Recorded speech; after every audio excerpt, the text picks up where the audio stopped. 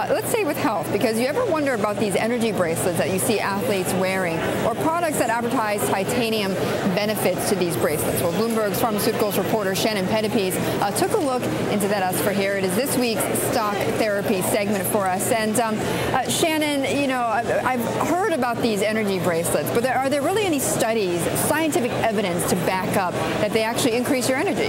Well, actually, Betty, no, there aren't really, and that a lot of this benefit could be in your head.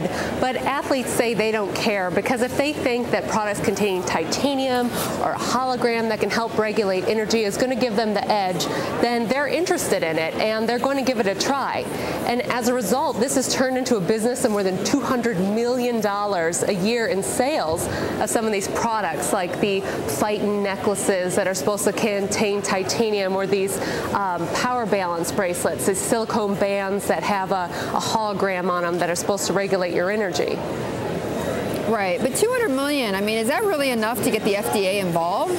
Well, the FDA has said that you can't make claims about a product providing a benefit to your health or changing the state of your body without going through studies and FDA approval. So when we talked to the FDA about this, they said that some of these claims the companies are making are indeed misleading, and they're going to, you know, it's now up to them to decide if they want to take action and review it. it. It will be difficult to tell, but the FDA has stepped in on the past in these sort of things.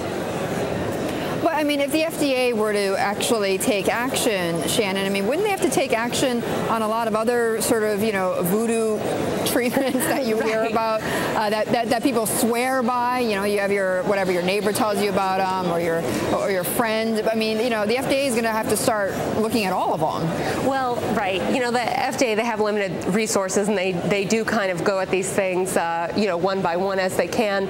You know, doctors say that, that you know, this is the equivalent of selling snake oil, someone telling you that a bracelet or a necklace can help improve your balance, your flexibility, your energy flow.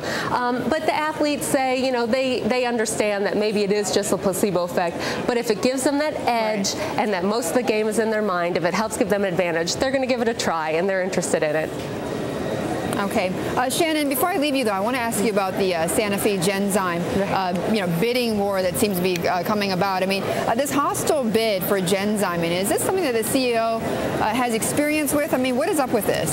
Well, yeah, this is kind of interesting coming from a CEO who, you know, really is only in his second year in the job. You know, Chris Viehbacher, the CEO of Sanofi, he came from Glaxo, where he was the head of U.S. Pharmaceuticals. He's been two years at Sanofi. He spent a lot of time restructuring, sort of getting the ship in shape, and now he is making a big move. Sanofi has a history of doing hostile deals like this, and actually, um, if this Genzyme deal goes through, it will be the biggest hostile deal since the deal that created Sanofi and Aventis. So there is a history of this for Sanofi, um, but now it is back in shareholders of Genzyme's court, you know, to decide whether they want to tender these offers, uh, these shares for this offer, and it goes back to Genzyme management to say, well, maybe now right. we should seriously consider letting Sanofi in the door, opening our books to them and starting to do due diligence, which they have been resistant to do up until this point.